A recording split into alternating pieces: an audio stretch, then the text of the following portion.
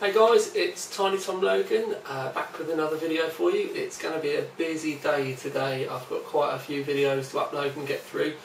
Um, basically, uh, it's running beside me now and I've got it running Vantage, but this video is on the HIS 6870. It's just a single card review. If you want to see a Crossfire review, go to my channel. I will add that there's no adverts there. So yeah, go to the channel, have a look at the Crossfire video that I've already done with a pair of 6870s. Uh, but yeah, HIS. Um, I'm a big fan of HIS actually. I actually personally use HIS in my personal rig. Um, although this is just a reference card, so do you know what I mean? Essentially, it's just the uh, AMD reference design and the reference cooler, and it's just got a sticker on it. But it's all good. Uh, 900 megahertz on the core. Um, 1050 on uh, the memory, gigabyte GDDR5 um, that supports uh, up to three displays with Eyefinity and you don't need the special powered adapters or anything like that with these anymore. Um, and also something that I found quite interesting, I'm really looking forward to uh, testing this, obviously not in this video but at a later date because I need to get a monitor. But um, uh, 3D technology has appeared on these as well. So looks like we're going to be able to have some 3D gaming uh, with the ATI card. So uh, I'm really quite excited about that. But what I'm going to do, because as I said, I've got the card by the side of me here at the moment, uh, I'm going to cut straight in and uh, give you some up close shots of this and a 6850 which I will be covering in another video. Um, but I'll give you uh, some close-up shots of earlier on when I had them in the light tent. Here we go peeps. Six 6870 and the six 6850. This is just to give you a, a good close-up look round while I'm taking pictures. Obviously in the light tent makes it a lot easier. I thought seeing them side by side might be better for you.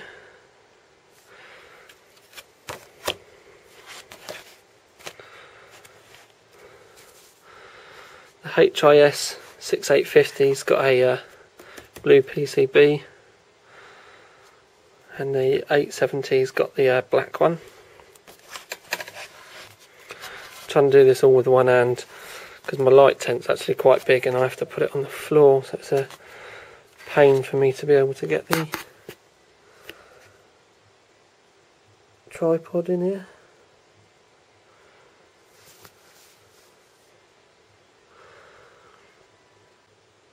Okay then peeps, just to show you a quick look at the 6870 undressed.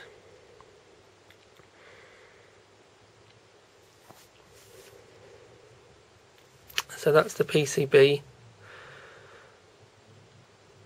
with it all unbuttoned. We go up, you can see the actual guts of the cooler itself. And that really is the the heat sink. Then the fan at the end and then the shroud to direct all the air around now the good thing about this shroud, if I put it up here so we can see a bit better, so that's the only way for the hot air to escape into the case. But normally at this part of the back of your case you'd have um, grills anyway for the heat to go out. So at least it, there's no way for it to exhaust any heat into the case itself. And it is primarily directed out the back which is always a good thing for keeping in, you know your case temperatures down. HIS single card 6870 um, the 6870 is a little crackers. Uh, they're going to come in about £199 or $249 depending on where you are. Now the uh, Vantage scores are about 17,500-ish.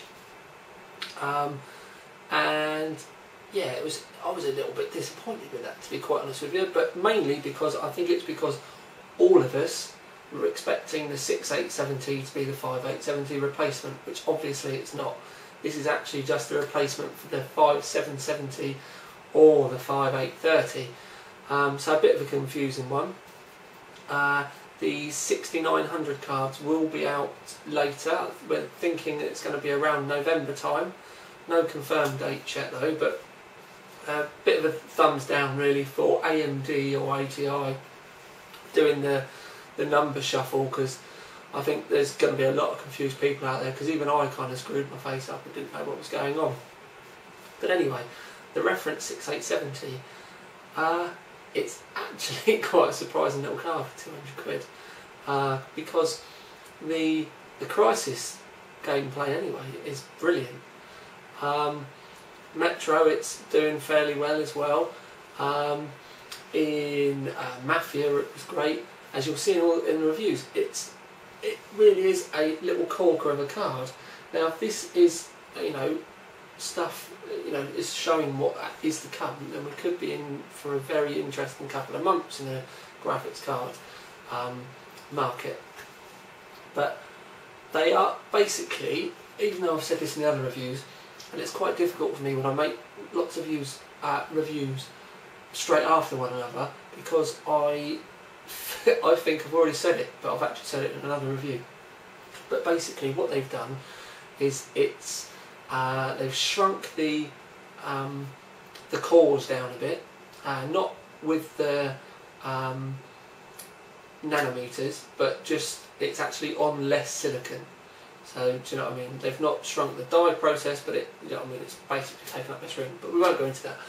So it, the cores are slightly different, but essentially, do you know what I mean? There's not a massive amount in it, um, but they are more uh, efficient and uh, they're definitely more overclock friendly because these are running at like 900 core um, and the HIS basically you can go into CCC and you can just go it, you can go up to a thousand core and it, you can just move that across.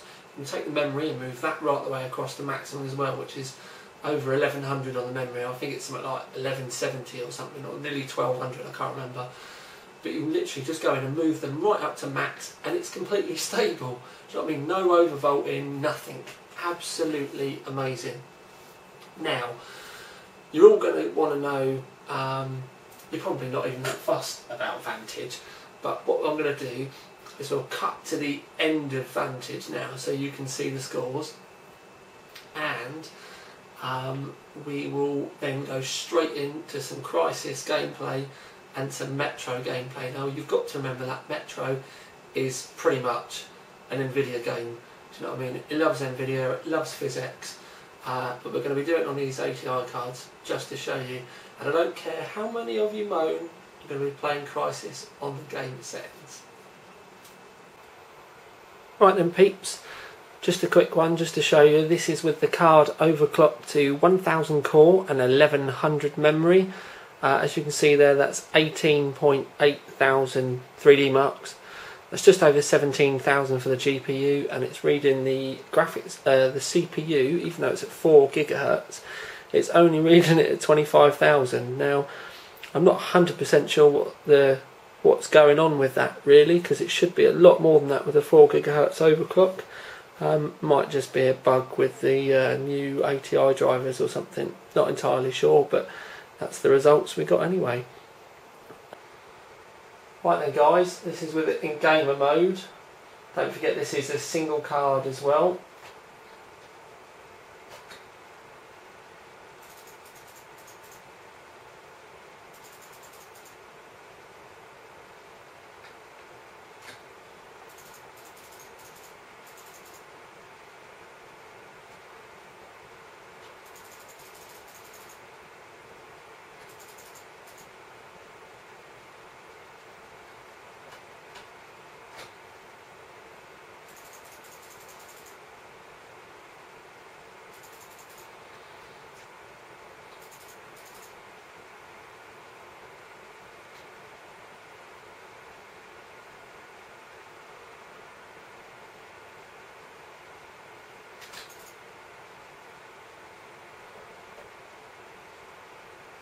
So yeah, look at those frames per second for a single card in the 50s.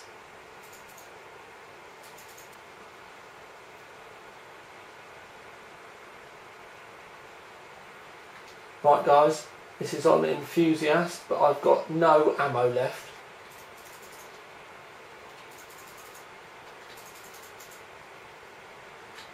Stevie's gun, where's it gone?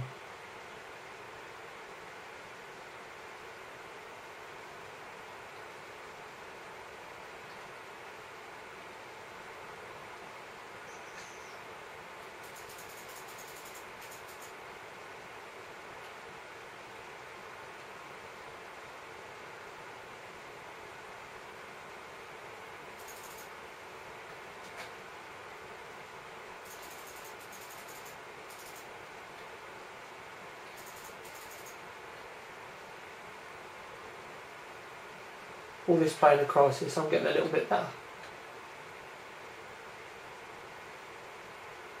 Not that much better.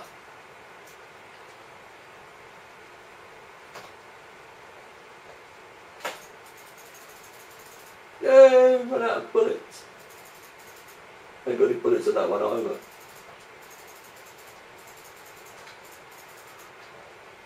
Right, that's it. More out of ammo. Gonna get dead.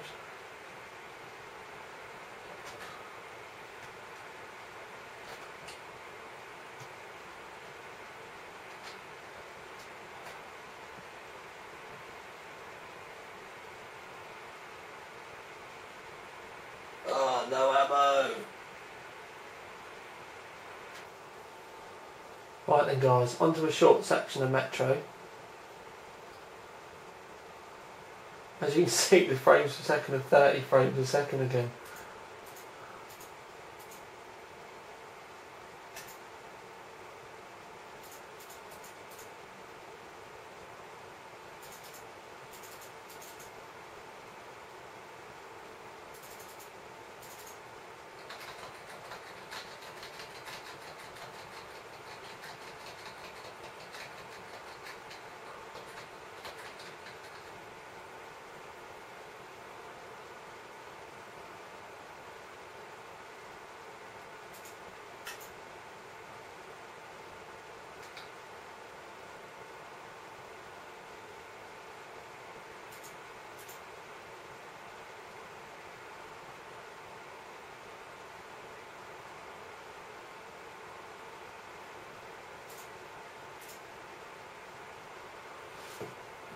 So you can't really complain at this gameplay, can you? 30 frames a second, it's definitely playable. It's not acting like a comic. All this for the sort of performance that we were expecting on the 5870 before, for argument's sake.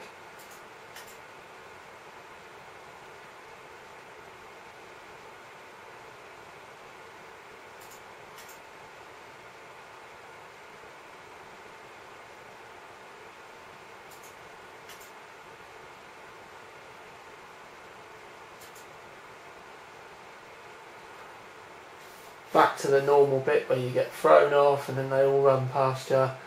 But anyway, you get the ideas, guys.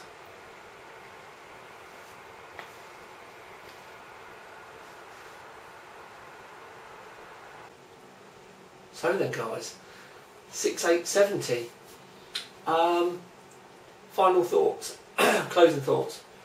Not quite what we were expecting um, because obviously we didn't realise there was going to be 6900s. There were rumours, but we didn't know. Obviously, do you know what I mean? It's official now. This is the 5770 5830 replacement. Uh, it's coming in around the same sort of money at £200. Um, but my honest thoughts on these cards, in game, brilliant. Do you know what I mean? Just doesn't seem to work out that way on the benchmarks. Uh, maybe uh, more mature drivers because we're still using beta catalyst 10.10s at the moment. Um, so maybe more mature drivers and stuff later on.